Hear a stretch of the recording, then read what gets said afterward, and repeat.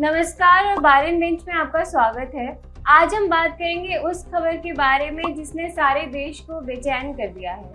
जिस दर्दनाक घटना में दो मणिपुरी महिलाओं को, जो कि कुकी जाति से हैं, निर्वस्त करके घुमाया गया और उनके साथ छेड़छाड़ की गई।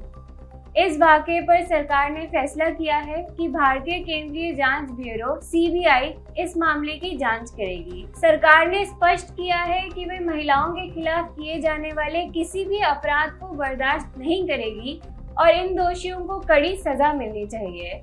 ताकि इसका संदेश पूरे देश में जाए। सरकार ने कोर्ट को यह भी बताया कि उसने राज्य सरकार की सहमति से सीबीआई जैसे निष्पक्ष जाँच एजेंसी को इस मामले की जाँच करने के लिए चुना है।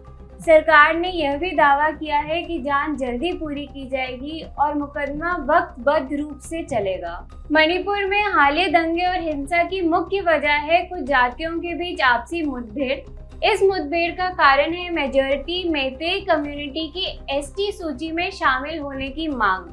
सोशल मीडिया पर वायरल हुए इस खौफनाक वीडियो के चलते सुप्रीम कोर्ट ने सो मोटर मामले को दर्ज करके केंद्र सरकार और राज्य सरकार से जवाब मांगा था। मामले के संबंध में गृह मंत्रालय द्वारा दावा किया गया है कि कम से कम सात आरोपी हिरासत में हैं और वे विभिन्न अपराधों के तहत गिरफ़्तार किए गए हैं। जिसमें रेप और हत्या भी शामिल है।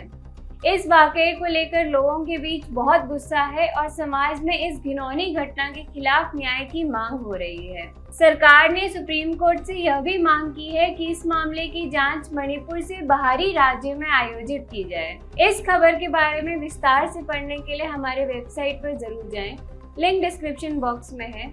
और हमारे चैनल को सब्सक्राइब करना ना भूलें। Subscribe to our YouTube channel and click the bell icon